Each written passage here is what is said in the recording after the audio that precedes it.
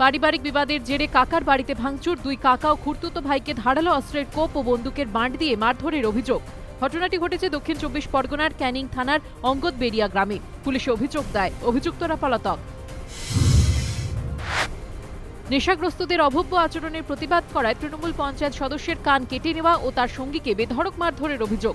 আলিপুরদুয়ারে চেচাখাতা ঘোষপাড়া এলাকার ঘটনা। আলিপুরদুয়ার থানায় অভিযোগ দায়ের পলাতক অভিযুক্তরা। মুখ্যমন্ত্রীর চার দিনের উত্তরবঙ্গ সফর শুরু। শিলিগুড়ির কাঞ্চনজঙ্ঘা স্টেডিয়ামে উত্তরবঙ্গ উৎসবের সূচনা করবেন মমতা। এরপর তেইশে জানুয়ারি ম্যালে নেতাজির জন্মদিনে সরকারি অনুষ্ঠানে উপস্থিত থাকবেন মুখ্যমন্ত্রী। চব্বিশ তারিখ ফিরবেন শিলিগুড়িতে। পঁচিশে জানুয়ারি মুখ্যমন্ত্রীর কলকাতায় ফেরার কথা।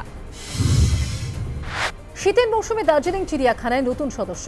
বার্লিন থেকে এলো পাঁচটি মিশমি টাকিন। দুটি রেড পান্ডার বদলে পাঁচটি মিশমি টাকিন পেল দার্জিলিং জু কর্তৃপক্ষ। শনিবার বার্লিন থেকে আনা হয় তাদের।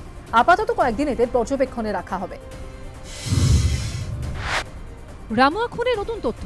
পুলিশ সূত্রে দাবি, স্ত্রীর বিবাহ বহির্ভূত সম্পর্ক জানার পর স্ত্রীকে মারধর করত রামুয়া। এরপর মায়ের সম্মতিতেই বাবাকে খুনের ছক কষে ছেলে। অপারেশন চালায় তিন বন্ধু। বুধবার শিউরিতে অমিত শাহর সভা ঘিরে আশঙ্কায় বিজেপি। সভাস্থলে কেউ জল ঢালতেই পারেন। অনুব্রত মণ্ডলের ইঙ্গিতপূর্ণ মন্তব্য। বিজেপির আশঙ্কা, সভা বন্ধ করতে সবকিছুই করতে পারে তৃণমূল। একশো দিনের কাজে পুকুর কাটা নিয়ে দুবরাজপুরে তৃণমূলের গোষ্ঠী সংঘর্ষের অভিযোগ, জখম চার হামলার অভিযোগ পঞ্চায়েত প্রধানের অনুগামীদের বিরুদ্ধে, অস্বীকার প্রধানের। নারায়ণগড়ে বিক্ষোভের মুখে দিলীপ ঘোষ। বিজেপির রাজ্য সভাপতির গাড়ি আসতেই গো ব্যাক স্লোগান দিতে থাকেন তৃণমূলের কর্মী সমর্থকরা। পাল্টা তৃণমূলকে কটাক্ষ দিলীপের। খড়গপুর আইআইটিতে নতুন গেস্ট হাউস তৈরির কাজ চলার সময় দুর্ঘটনা। মাথার উপর লোহার কাঠামো ভেঙে মৃত্যু এক নির্মাণ কর্মীর। গুরুতর জখম এক। বড়োয়ায় তৃণমূলের গোষ্ঠীদ্বন্দ্ব।